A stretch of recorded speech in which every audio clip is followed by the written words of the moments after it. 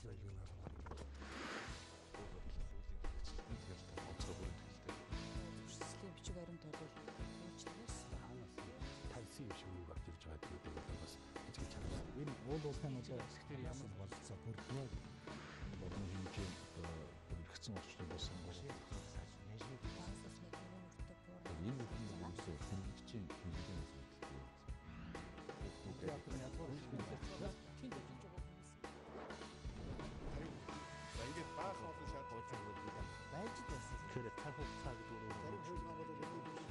Орчин шоугийн хийх.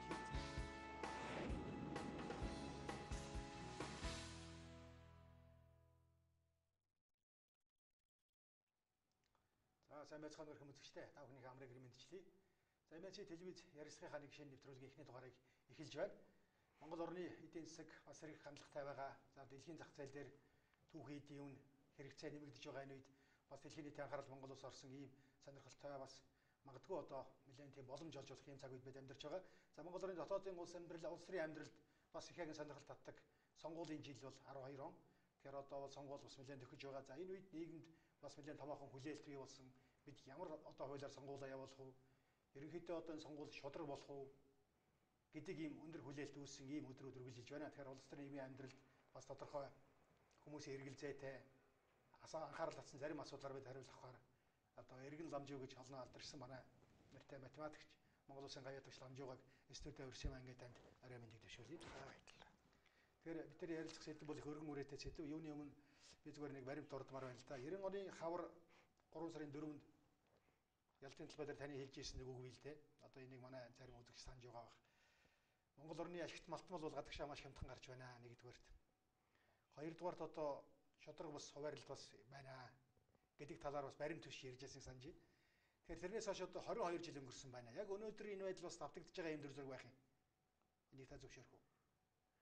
За тийм тэгээ яг нөгөө гэрээ хийж сураагүй эрхэшгэ хамгаалах одоо төвшний одоо нөгөө гэрээнүүд нь шүү дээ хууль гэрээнтэй тийм төвшөнд юмнуудаа хийхэд сурахад бас огцоо хэрэг болдгийм байлгүй. Тэн дээр л манайх муу ажиллаад байгаа л гэж би бол тэгж л ойлгож байгаа. 90 онд ямар байсан? 22 онд одоо 12 онд үл юм ба шүү дээ. одоо яг эрхэшгэ хамгаалсан одоо бүх юмыг цаасаар удирддаг болсон цаг байна шүү дээ. Одоо өөрөөр хэлэх юм бол гэрээ хэлцээрээр хуулиар. Тэгээ энэ гэрээн дээр л одоо эрхэшгэ хамгаалах механизмуудыг тусгаж өгөхдөө их учир дутагдал гараад байгаа шиг байна. Тэгэхээр би яагаад энэ асуулт энэ асуултнаас эхэлсэн бэ гэхээр үнэхээр одоо ардчлал Монголд бий болоод 22 жил ардчсан нийгмийг байгуулах орлого хийгээд 22 жил боллоо. Тэгэхээр өнөөдөр бид ямар байна вэ гэдгээ бас нэг ингээд өнгөрсөн цаг хугацаа харьцуулж хармаар ийм цаг үе байна л да. Тэгэхээр бид нар бол хуулийн дор амьдрнаа. Ардчлалын үнэт зүйлийг одоо бий болгоно гэдэг зорилтыг тавьсан. За өнөөдөр яг энэ утгаараа бол бид нар сонгуулаа хийдэг, сонгодог энэ тогтолцоонууд байж байна. Харин сонгуул яаж явдаг вэ? Шудраг болох уу, шудраг ус болох уу гэдэг дээр бол бас эргэлзээтэй зүйлүүд бол ихээхэн байна. Тэгэхээр сонгуулийн хуулиас одоо дараагийн асуултаа тань тавья гэж бодож байна сонгуулийн хуулийн тухай. Одоогийн явуулах гэж байгаа сонгуулийн хуулийн мөн чанарыг та яаж харж байна? Энэ одоогийн одоо сонгуулийн хуулийг батлагдаад гарсан хуулийн төвшөнд хэлэхэд 1990 онд одоо явуулсан сонгуулийн хуультай нэлээд төстэй ийм хууль баталсан байхгүй юу? За өөр одоо юм би ялгадах маш одоо юм би. Ер нь үндсэн зарчим нь намын нэрээр санал авдаг, нэр дэвшигчийн талаар санал авдаг ийм болоод байна. Тэгэхээр энд нэг их ноцтой дутагдал юу гардаг вэ гэхээр тухайн санал өгч байхад нэг ямар намаас нэр дэвшиж гэдэг намын юу тухайн хүн дээр бас нэмэгддэг байхгүй ямар нэг хэмжээгээр. Тэгээ намын нэрээр санал авахаар ингээд намын санал одоо хоёр тоологдож байгаа шүү дээ. Хоёр удаа ингээд санал тусаад байгаа байхгүй. Тэгээ энийг одоо математикт бол корреляци центр гэдэг нарийн судалсан байдаг юм л да. Тэгээ энэ өөрөөр хэлбэл давхар татвар ногдохгүй гэдээ ярихаар хүмүүс их ойлгодог үстэй. Тэрэн шиг одоо саналыг давхар тоолохгүй нэг намын саналыг одоо тийм нэг хүний хувьд хоёр дахид тоолохгүй энэ гэдэгтээ адилхан зохицуулт хийх ёстой юм л да. Тэгэхээр энэ бол одоо 90 оны үед бол ийм нарийн юмыг бол мэдрэх аргагүй гэж. Одоо бол сонгуул өчнөөлуудаа явуулсан 20 хэдэн жилийн дараа бол энийг бол энэ бол шууд ажиглагдсан энийг бол ёсоор нь хийж болох л байсан л да. Тэгэхээр энэ юунаас болж байна гэхээр Тэгээ сонгуулийн үндсэн зарчмыг бол Монголын нөхцөлд бол үндсэн хуульд хийхгүй бол болохгүй юм байна. 20 хэдэн жил сонгуулийн хуулийг сайжруулна гэж яриад сайжрахгүй өнөдрийг хүлээ.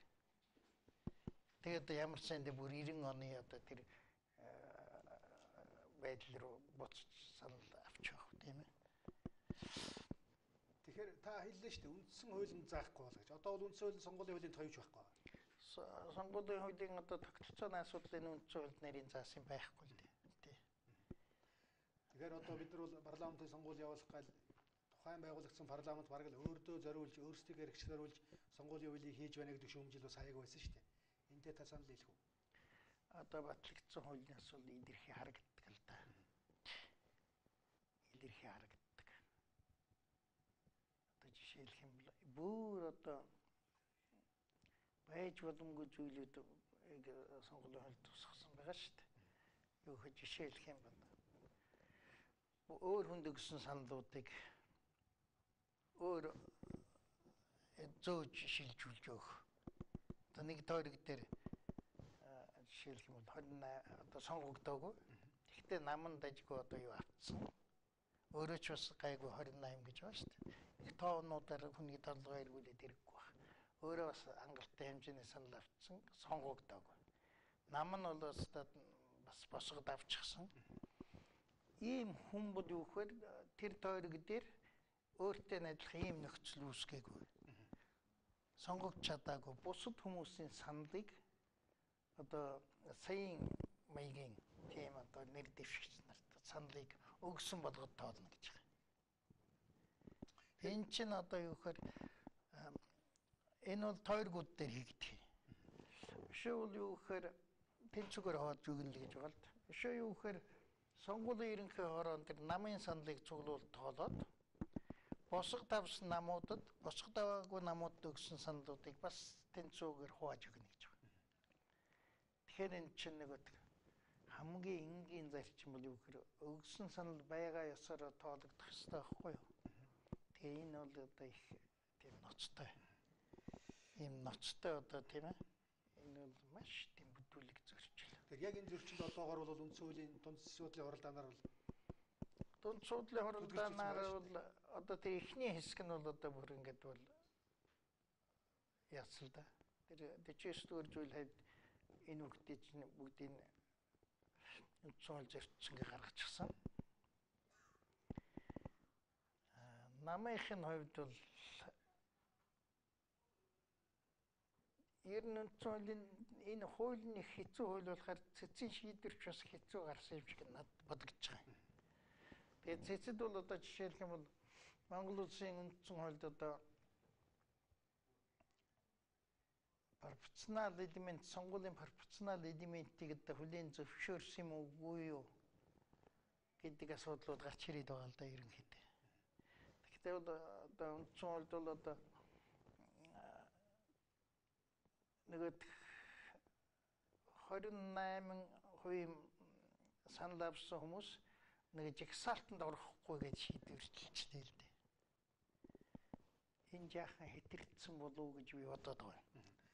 Тэгээ энэ дээр бол яг энэ дээр бол асуудал их үүсэх баха. Одоо эн чинь цаг хугацаа бараг байхгүй боллоо шүү дээ. Тэгээ одоо яах вэ? Та яаж харж байна? Одоо яаж игэл одоо улсын хурл одоо энэ бүр эрхийн хугацааг хугацаанд нь ажиллаа хэд тусах ёстой л байна.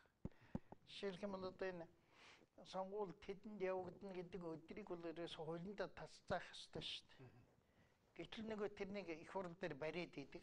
Яхан тодорхой байгаад байдаг.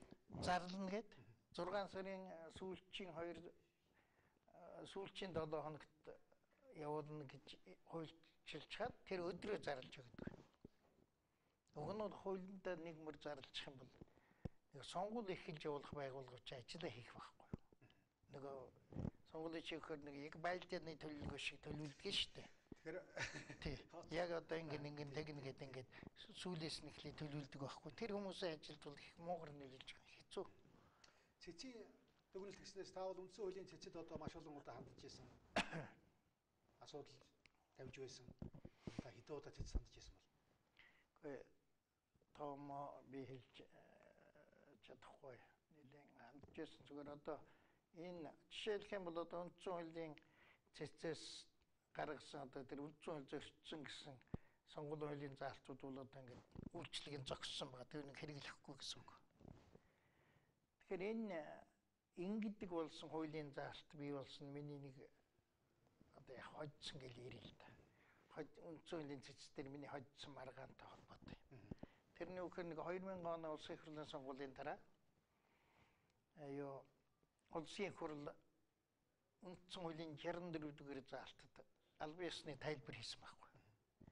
Цэцгийн дүгнэлт бол тогтоол нь гарах хүртлээр үйлчлэхгүй гэж.